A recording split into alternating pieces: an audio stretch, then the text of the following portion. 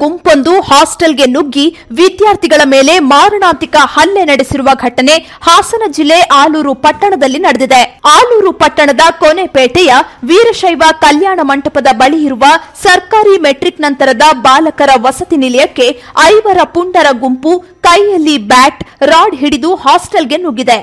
ಬಳಿಕ ಏಕಾಏಕಿ ಹಾಸ್ಟೆಲ್ ಪೀಠೋಪಕರಣಗಳನ್ನು ಧ್ವಂಸಗೊಳಿಸಿ ವಿದ್ಯಾರ್ಥಿಗಳ ಮೇಲೆ ಹಲ್ಲೆ ನಡೆಸಿದೆ. ಹಲ್ಲೆಗೊಳಗಾಗಿರುವ ವಿದ್ಯಾರ್ಥಿಗಳನ್ನು ಆಲೂರು ಪಟ್ಟಣದ ಸಾರ್ವಜನಿಕ ಸರ್ಕಾರಿ ಆಸ್ಪತ್ರೆಗೆ ದಾಖಲಿಸಲಾಗಿದೆ. ಪ್ರಕರಣ ದಾಖಲಿಸಿಕೊಂಡು ಸಿಸಿಟಿವಿ ಫೂಟೇಜ್ ಪರಿಶೀಲಿಸಿದ ಆಲೂರು ಪೊಲೀಸ್ ಠಾಣೆ ಪೊಲೀಸರು ಪುಂಡರನ್ನ ಜೈಲಿಗೆ ಅಟ್ಟಿದ್ದಾರೆ. ಬಂಧಿತರನ್ನು ಸಂಜು, ಸಚಿನ್, ಅರ್ಜುನ್, ಸಂಜಯ್, ರೂಪೇಶ್ ಎಂದು ಗುರುತಿಸಲಾಗಿದೆ. ಹಾಸ್ಟೆಲ್ ಘಟನೆಗೂ ಮುನ್ನ ಆಲೂರು ಬಸ್ ಸ್ಟ್ಯಾಂಡ್ನಲ್ಲಿ ಹುಡುಗರ ಜೊತೆ ಗಲಾಟೆ ಮಾಡಿದ್ರು ಎನ್ನಲಾಗಿದೆ.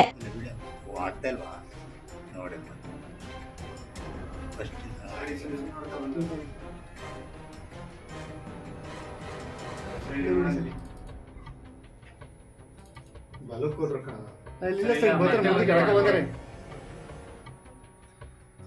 ಇವ್ರು ನಿಮ್ಮ ಹುಡುಗರಲ್ವಾ? ಇವ್ರು ನಮ್ಮ ಹುಡುಗರು ಮುಂಚೆ ಮುಂಚೆ ಹೋದ್ರಲ್ಲ ಅವರು?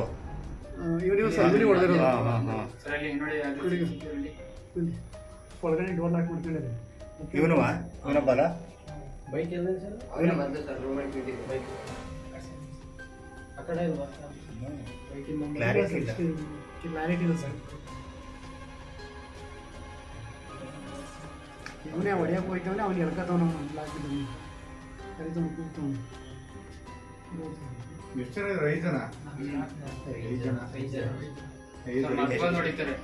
ಎಷ್ಟು ಜನ ಇದ್ದಾರೆ ಐದು ಐದು ಐದು.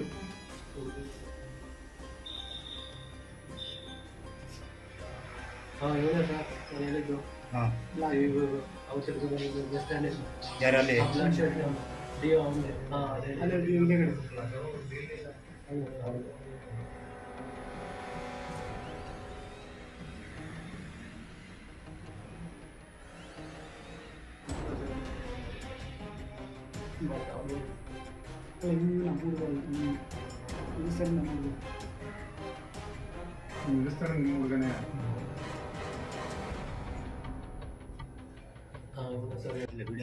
ಆಗ್ತಾ ಇಲ್ವಾ ನೋಡಿ ಫಸ್ಟ್